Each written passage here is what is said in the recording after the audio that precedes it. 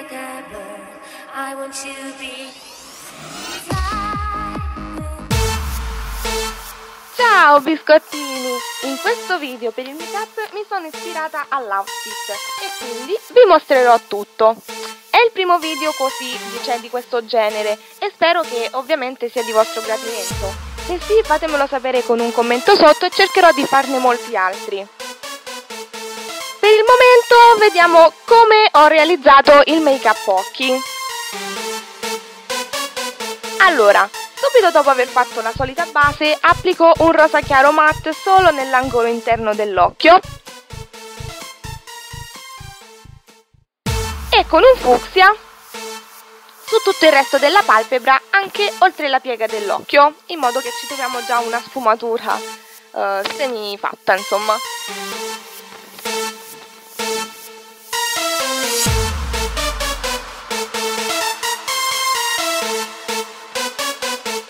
con un vinaccio molto più scuro ehm, intensifico il colore da metà palpebra fino all'angolo esterno e nella piega.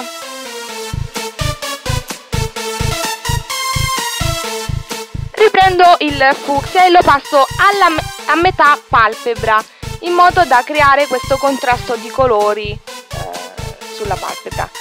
Ripasso con un ombretto bianco sull'angolo interno in modo da cominciare a dare l'illuminazione giusta. Prendo un ombretto nero e vado ad applicarlo nella piega dell'occhio e nell'angolo esterno in modo da ottenere così un diciamo occhio da gatto.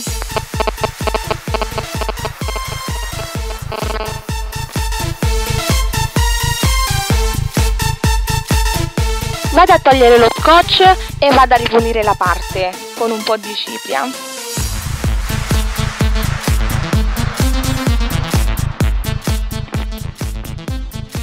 Con la matita creo, prima la applico all'interno dell'occhio sia sopra che sotto e poi vado a fare una linea a mo' di eyeliner perché come sapete io l'eyeliner non lo utilizzo quindi uso solo le matite e vado a creare una bella coda. Ora con il pennellino piccolo a punta fina e eh, l'ombretto nero che abbiamo utilizzato prima vado ad allungare la coda della, della, linea e vado a sfumarla con, con l'ombretto in modo da creare un tutt'uno.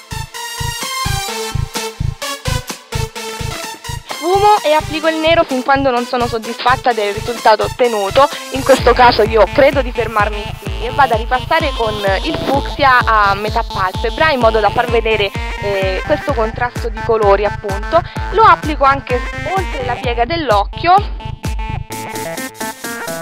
e vado a prendere il matitone della Kiko e vado ad illuminare l'angolo interno inferiore e superiore e, la, e sotto l'arcata sopraccigliare e vado a ripassarci sopra con un ombretto ehm, bianco un po' glitterato. Avendo utilizzato tutti i matte sapete che io sono un po' non diciamo non contro il matte ma quasi.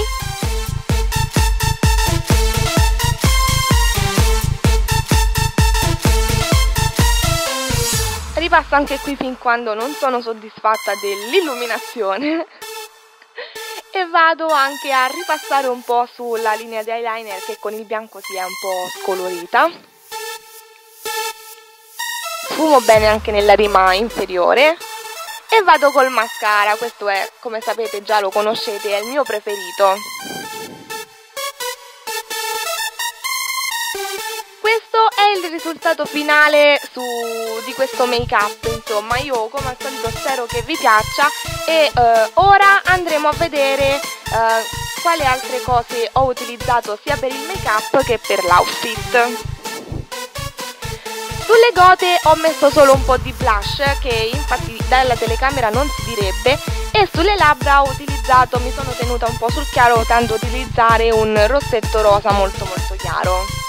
Come outfit um, c'è questa maglietta a collo alto perché ancora non mi fido a spogliarmi un po' di più e um, color fucsia appunto, color vinaccio scuro. Ho utilizzato questa magliettina molto carini carinissima e uh, un pantacollante nero, un leggings nero e uh, non vi ho fatto vedere le rifiniture del pantacollante ma aveva delle rose tutte uh, carine insomma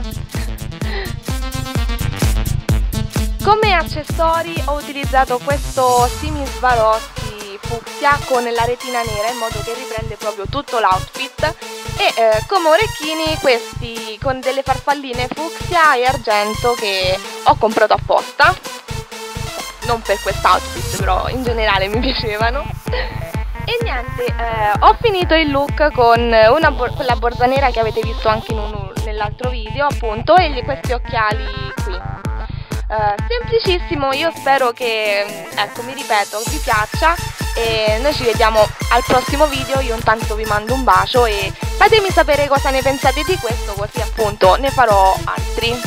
Ciao a tutti, ciao ciao